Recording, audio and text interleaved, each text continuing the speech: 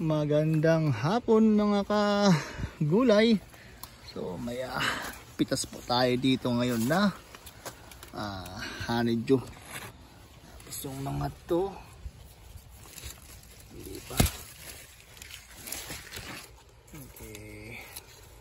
So ito na yung pangalawang ah, harvest natin ng ating ah, honeydew.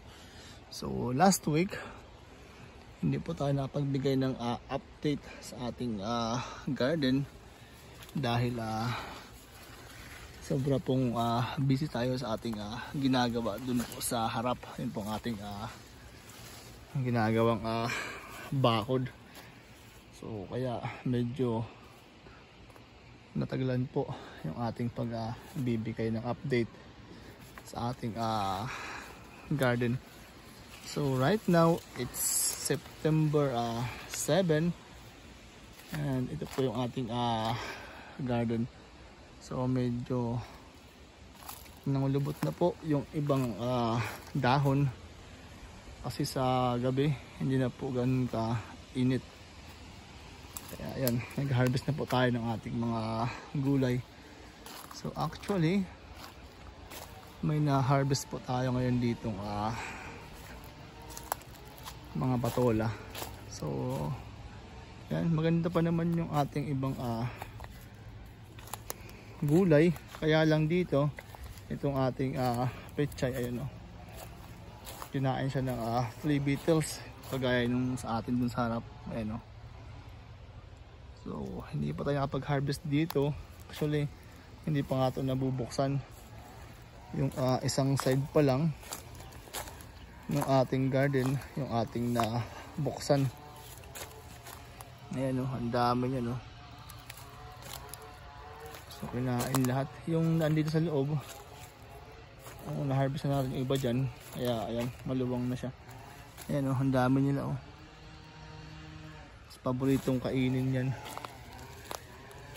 Yung petchay ng mga uh, beetles na yan pero yung kangkong hindi po nila ah, ginalaw so okay yung kangkong. Kaya lang ito dito. So yung cabbage natin parang hindi natin makakahabol. Dito oh. Halos patay. Yan oh. Inubos nila oh. Yan po yung itsura kapag ka kinain po nung uh, ayan uh, beetles yung ah dahon ng um, pichay yan oh, dami. Yeah, so yung kangkong okay naman. Hindi man nila uh, ginalaw. Kaya lang medyo dilaw din po ata yung kanyang ah, ah, dahon. So okay pa naman. Siguro ko sa linggo kailangan na po natin itong i-harvest. Yan, yung kangkong natin dito. Kahit maliit pa, siguro ko na harvest tayo nito para hindi siya mag uh, so okay pa naman yung ating mga tanim. Mas may mga bunga pa. Ilagay ko lang po ito dito. So ito po yung ating na harvest na patula kanina. Ayan nalaki po sila oh. ito yun na yung patula na naandun sa taas. Yung naandun dati yung sumabit dun. Ayan doon sa pinakataas so kaya makikita nyo may mga konti pa siyang bunga.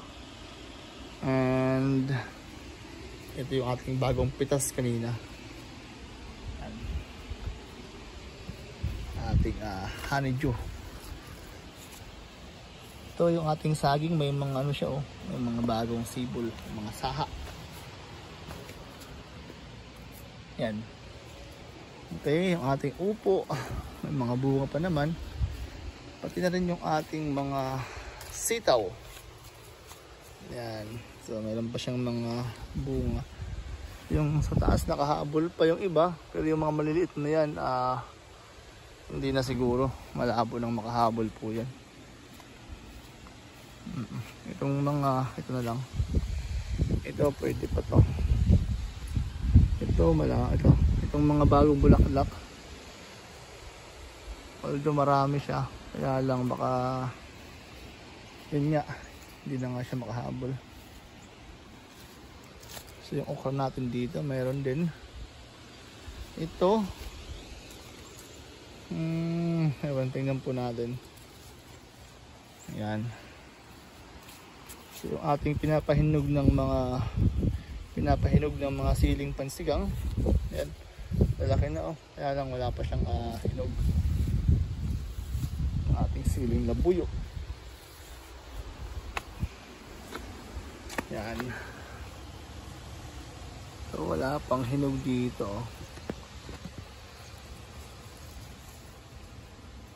Dami niyan oh. Siling pansigang. Wala pang uh, hinog. Yung kangkong natin dito nakalabo na siyang makahabol oh. Hindi na siya ganun kalaki. Tumigil na siya sa kanyang pag uh, tubo so pag yung dito. Ayan nahinog na yung ating uh, hampalaya. Seeds lang yung kailangan natin lang dyan. Tapos dito yung ating uh, dwarf na sitaw. Yan may mga to, may mga bulaklak po siya oh. so sana ewan baka sakaling humabol. Kaya lang sa mga susunod na araw meron na po siyang uh, plus 6 or uh, plus 5 baka mag low pa yan ng uh, medyo mababa pa. So hindi po natin alam. Ating kamote. Tapos yan, hanggang ngayon hindi ko pa rin nalilipat yung ating uh, uh, papaya. Malaki na baka mamulaklak to dito. oh my god. Wala tayong uh, time. Tapos yung ating uh, cherry tomato dito, ayan, na-harvest na po natin, na-freeze na po natin sila para po, ah, sa winter yung patani ang tagal mamunga yun ang tagal niyang magkaroon ng uh, buto hanggang ngayon maliit pa rin yung kanyang buto hindi pa tayo nakapag uh, harvest po dito. Ito wala pa rin itong bulaklak.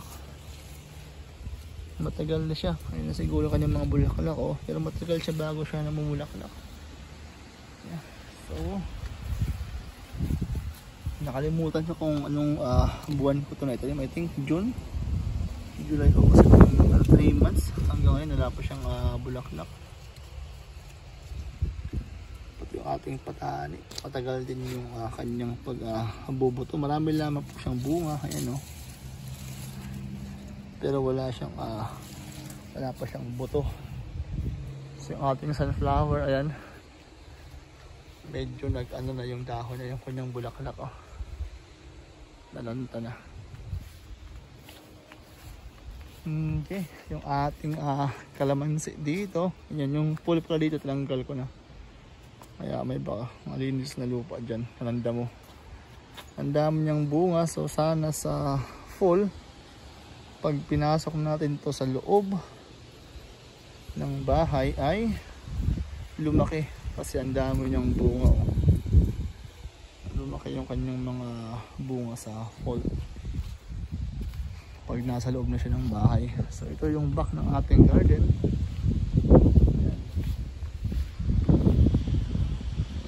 ating gabi. Okay pa lumalaban pa. Tapos pag pumunta po tayo sa harap.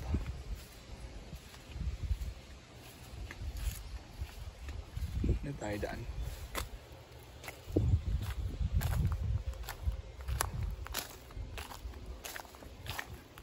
Yung talong natin dito.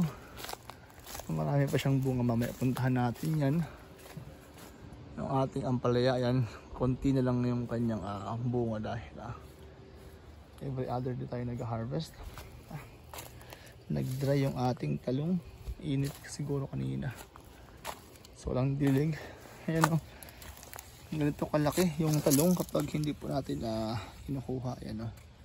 ang laki niya yan.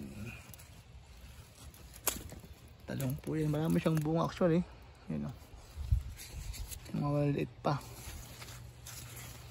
Yan. Iba naman may mga kinain ng slag, butas. Yan. So hindi pa siya malaki. Laliit pa lang yan. May butas na kagad sila ng slag. Pero right now, unti-unti nang nawawala yung ah, slag.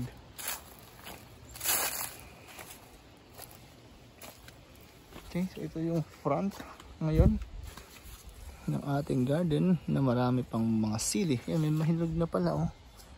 Yan, so mayroon pa tayong buto next year. Yung front natin dito. Yan, may mga sito pa po dito. Yan oh. Okay. Beef tomato, sobrang laki. Ayan pa. So yung mga pahabol natin dito, ah, beans, ayan, nagkaroon po siya ng bulaklak. Ayan, ewan ko lang, ayun, may bunga siya, oh, ayun na. So, sana makahabol siya. So, malago siya dito, malilim lang kasi kasi puro siya sa taas, ano, dahon. Ano yan, ah, sayote. Tapos yung ating ano dyan, oh, may mga bunga pa rin. Yung ating ampalaya po dito, ayan. palaya tapos taas sayote kaya lang ni bulaklak wala po yung ating ah, sayote pero ang palaya meron so yan yung ating sitaw medyo dilaw na yung kanyang dahon sa baba ating saluyot dito yan nakapag harvest po tayo kanina dahil nag ah, start na po tayong mag freeze ng ating mga gulay para sa winter. Ayan o. Oh. Itong side pa lang po yung ating na-harvest po kanina. Ayan o. Oh. Kinat na po natin sila and uh, furnace na po natin. Dito, yung ating mga uh, talong. Meron pa pa isa-isa. Ah, nahinog na to oh. Ayan. Ang kailangan natin dyan ay buto na lamang po.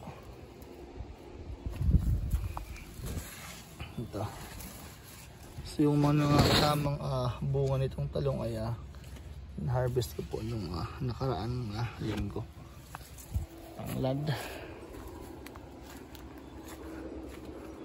ayan meron pa naman siyang bunga pero hindi na ganun karami dito yung ating siling pansigang ito marami na siyang bunga ay marami na siyang uh, hinog so dry yung lupa niya so magdidilig po tayo mamaya sili. I mean sili. Uh, kamatis. Pula po kasi yung kulay. Yan. Okay. So, yan po kayo yung update dito sa ating garden. Sana makapag uh, bigay pa ako ng uh, isa pang update bago mag-frost or kung mag-harvest po tayo. So, tingnan po natin. So, ito po yung ating ginawang uh, bakod. Ba ating, ating uh, ginawang bakod nung nakaraang uh, linggo kaya medyo busy po tayo ayan binakurang ko po siya ayun oh. so sana tama naman ang ginawa kong baho dyan ayan so wala pa nga lang po siyang uh, gate. Dahil iniisip ko pa kung ano yung uh, magandang ilagay nating gate. So ayan. So sa front ng bahay natin yan. And yan paikot po. Yan. ito yung ating uh, ginawa. Kaya medyo naging busy po tayo at hindi po tayo nakapagbigay ng uh, update nung nakaraang uh, linggo. So ayun mga kagulay.